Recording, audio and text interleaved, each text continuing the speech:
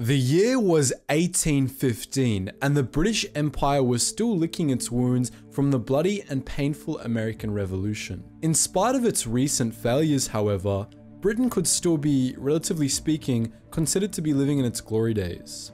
They had acquired and managed to hold territory all over the world, with the continents of Africa and Asia being hardest hit. With that said, it was inevitable that the small country of Nepal, just north of British ruled India, was to be invaded next. The British, of course, made true to this, and although they were expecting minimal resistance, the Nepali Gurkha regiments fought so ferociously and the British took so many casualties that High Command breathed a sigh of relief when a peace treaty was hastily reached with the small nation. This treaty then allowed the British to recruit and ally their former enemy, and in World War II, the help of the Gurkhas was quickly enlisted by the desperate allies, and these Gurkhas proved to be some of the fiercest soldiers that the war had to offer.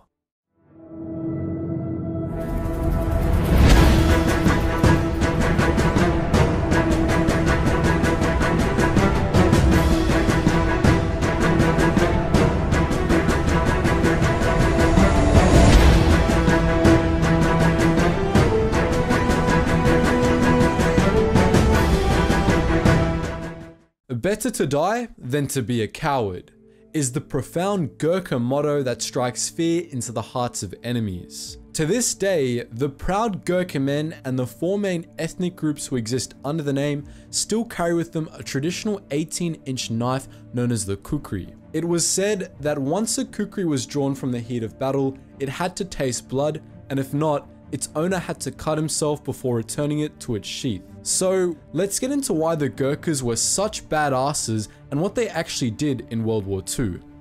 By the time of the war, most, if not all Gurkha units had been absorbed by the British Army. This meant that wherever the Brits fought, you could expect to find a couple of Gurkha battalions nestled in there as well. According to one description of the Gurkhas by author Ralph G. Martin, they were always smiling, always laughing like a bunch of kids just young enough to think the whole world was a big joke. But when night came, these smiling, laughing little guys would creep quietly out between the lines with their kukris, their 18 inch razor sharp curved knives, and when they came upon across a big German guy, they would hack at his thighs. If somebody came at them with a bayonet, they would chop at his arms, otherwise they just confined themselves to lopping off heads which they would do quickly, cleanly, with a professional touch.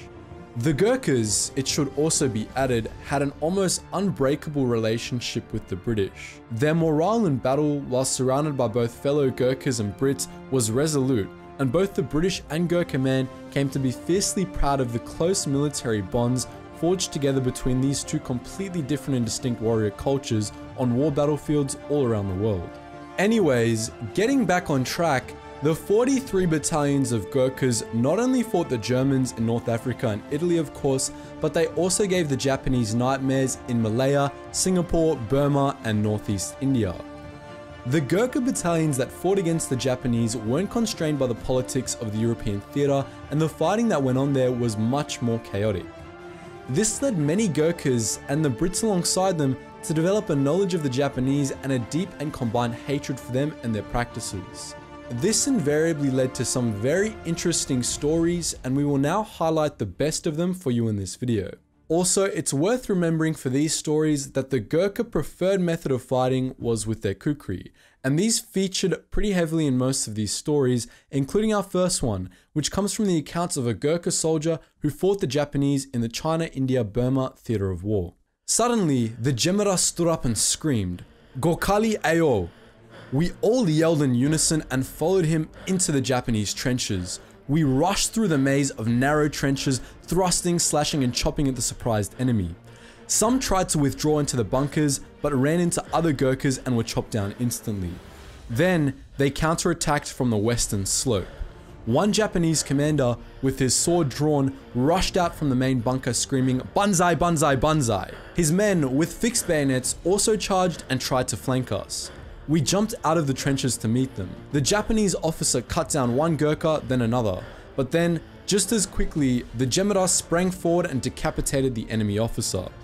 The Jemadar yelled, Gorkhali Ayo, no prisoners, and we responded, no prisoners, Gorkhali Ayo. The resultant collisions were of steel against steel, steel against flesh, and flesh against flesh.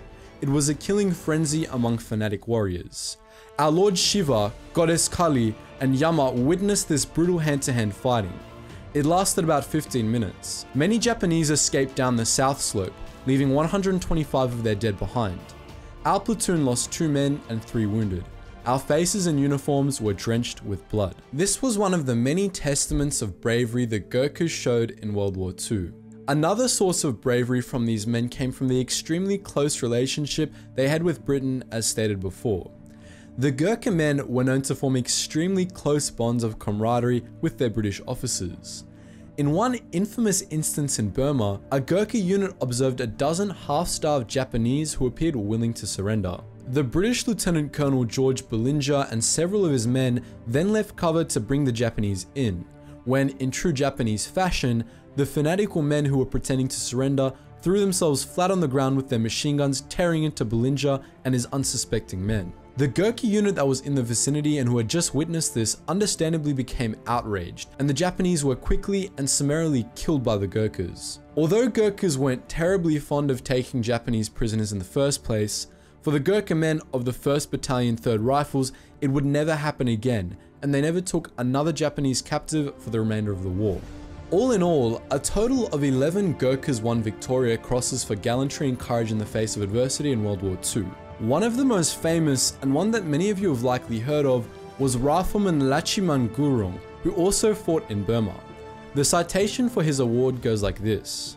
At Taungdaw in Burma, on the west bank of the Irrawaddy on the night of the 12th to 13th of May 1945, Rifleman Lachhiman Gurung was manning the most forward post of his platoon. At 1am, at least 200 enemy assaulted his company position. The brunt of the attack was borne by Rifleman Lachhiman Gurung's section and by his own post in particular.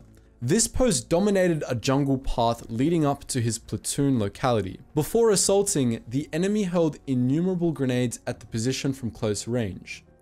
One grenade fell on the lip of Rifleman Lachhiman Gurung's trench. He at once grasped it and hurled it back at the enemy. Almost immediately, another grenade fell directly inside the trench. Again, this rifleman snatched it up and threw it back. A third grenade then fell just in front of the trench. He attempted to throw it back, but it exploded in his hand, blowing off his fingers, shattering his right arm and severely wounding him in the face, body and right leg. His two comrades were also badly wounded and lay helpless in the bottom of the trench. The enemy, screaming and shouting, now formed up shoulder to shoulder and attempted to rush the position by sheer weight of numbers. Rifleman Lachhiman Gurung, regardless of his wounds, fired and loaded his rifle with his left hand, maintaining a continuous and steady rate of fire. Wave after wave of fanatical attacks were thrown in by the enemy over the next four hours and all were repulsed with heavy casualties. For four hours after being severely wounded, Rifleman Lachhiman Gurung remained alone at his post, waiting with the perfect calm for each attack, which he met with fire at point blank range from his rifle, determined not to give one inch of ground. Of the 87 enemy dead counted in the immediate vicinity of the company locality, 31 lay in front of this rifleman's section, the key to the whole position. Had the enemy succeeded in overrunning and occupying rifle Lachhiman Gurung's trench, the whole of the reverse slope position would have been dominated and turned. This rifleman, by his magnificent example, so inspired his comrades to resist to the last that although surrounded and cut off for three days and two nights, they held and smashed every attack. His outstanding gallantry and extreme devotion to duty in the face of overwhelming odds were the main factors in defeating the enemy. So, all in all, it's safe to say that the Gurkhas were some of the most formidable men of the war, and it wasn't only the Japanese that they gave nightmares to. They are the best of friends and the worst of enemies, and there are plenty more stories in the North African and Italian theatre, as well as recent stories in Afghanistan too. However, in this video, I of course focused on the heroics of them in the Asian theatre of war. If you would like a part 2 of the war machines known as the Gurkhas, be sure to let me know in the comments section below whether you enjoyed this video, and of course click the like button if you did. Also, any personal stories about Gurkhas that you know of, I always appreciate in the comment section below as I love reading them. Anyways guys, just before you go, if you do want to help support the channel, please do check out the Patreon. I know I haven't been uploading consistently recently, but I've been really busy and I'm going to get back to once a week once a course that I'm doing is finished. Anyways, guys, as always, thank you so much for watching, and I hope you learned something new.